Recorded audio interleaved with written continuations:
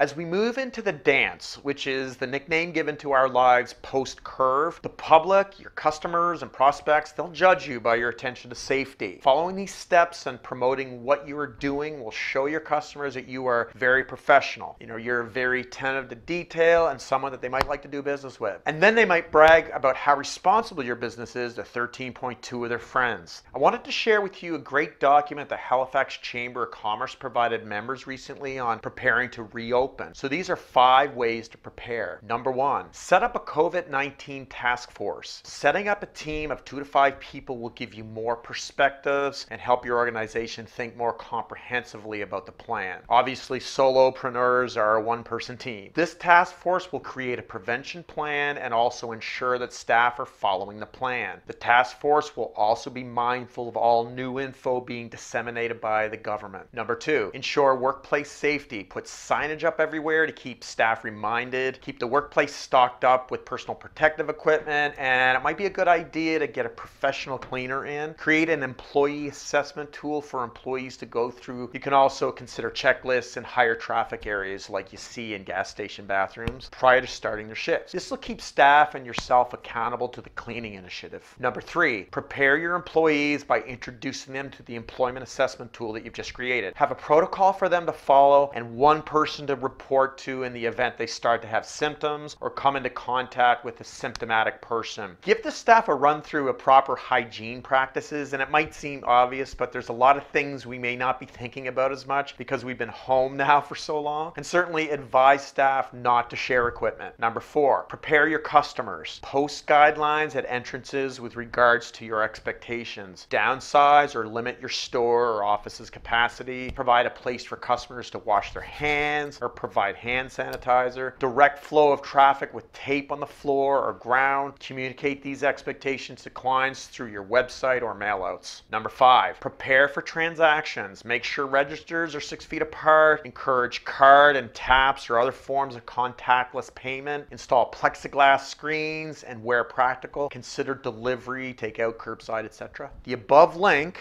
is an example of how to communicate your business's protocols. Stay safe, guys.